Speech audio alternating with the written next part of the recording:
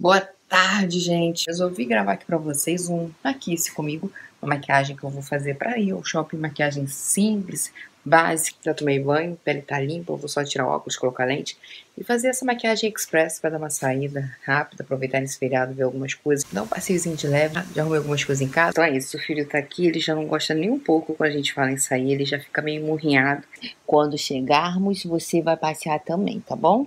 É porque tá muito cheio, tá muito cheio esse feriado. Coloquei a lente, a pele tá limpa. E eu vou aplicar agora o protetor solar que eu tenho testado no momento. Que é o protetor da Neutrogena, o Sun Fresh Aqualine. Tem FPS 30. Aplico tanto no corpo quanto no rosto. Ele tem um cheirinho muito agradável, bem suave. Não é pegajoso, até porque tem essa fórmula diferente, né? A fórmula aquosa. E até então eu tinha testado só embaixo de sol escaldante. Tenho feito funcional e daí, gente, que é ao ar livre, debaixo do sol quente, e ele que tem me protegido no momento. Tem um toque hidratante, mas muito leve, né? nada pegajoso de fato. Se vocês quiserem, eu faço uma resenha mais completa futuramente, ou post no blog. Vou aplicar agora corretivo, um que eu desenterrei da gaveta, fazia muito tempo que eu não usava, é o Studio Finish da MAC. A minha cor é NC30, e ele é bem densozinho, ele é bem grossinho. Então, vou aplicar uma gotinha do Magic Fix da Ruby Rose, aquele óleo potente que vocês estão pedindo resenha. Já já eu compartilho com vocês, é porque eu usei poucas vezes mesmo. Apliquei uma gotinha aqui com a esponjinha mini para corretivo. Eu vou dar batidinhas e vou dar uma leve camuflada, porque a olheira da pessoa está gritante. Espinhazinha que apareceu nesses dias que eu estou naqueles dias e comi horrores de chocolate. Corretivo aplicado. Passei aqui na pálpebra também que costuma ficar mais escura, mais vermelhinha. Agora eu vou aplicar esse pozinho aqui da Playboy, pó translúcido, só para selar um pouco esse corretivo, já que ele é mais cremoso, e dar uma matificada. Despejo um pouco aqui na tampa e vou espalhar com a esponjinha mesmo. Eita, foi demais, hein?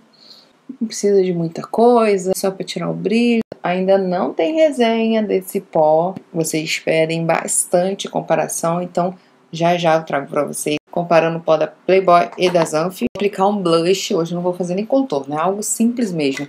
Vou utilizar essa paletona aqui da Ruby Rose. Vou misturar esse tom aqui mais laranjinha com esse tom acima mais rosinha. E o pincel que eu vou usar é o A07, tá? Da Macrylan. Eita, eu pesei. Espera aí que a gente vai dar um jeito. Pegar o pincelzinho que tava com pó e dar umas batidinhas aqui. Ó, com um pincelzinho sujo mesmo, vou esfumar aqui, ó, na pálpebra móvel, só para dar uma corzinha de leve, tirar um pouquinho o inchaço, muito leve.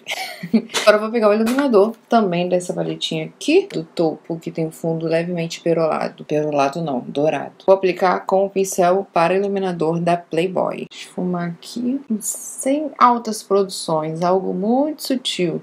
Ó, topo do nariz também Agora vamos para minha parte favorita, máscara de cílio. Vou fazer misturinha de duas hoje. Vou começar com essa daqui, a longa em volume da Candice Berenice. Pegar a parte volume. Já tem resenha dessa máscara por aqui também. Vou deixar linkado aqui para quem ainda não conferiu. Essa máscara dá um volume bem interessante, ela dá uma alongada maravilhosa. Porém, o aplicador é tenso. E agora eu vou aplicar algumas camadas da Big Extreme da Avon.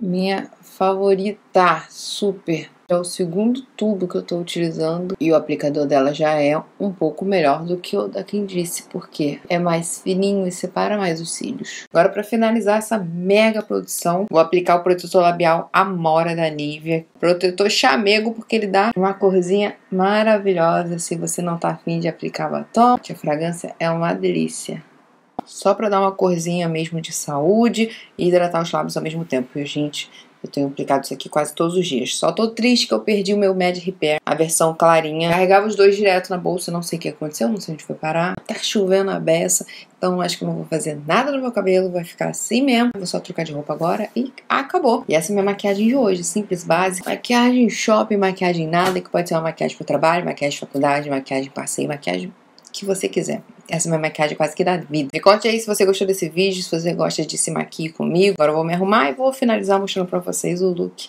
de quase sempre, assim como a maquiagem. Pronta, calça jeans de sempre, bolsinha básica, tiracolo de sempre, uma jaqueta, cinto e essa é roupa de hoje. Beijo, espero que vocês tenham gostado de acompanhar. Até o próximo vídeo. Tchau!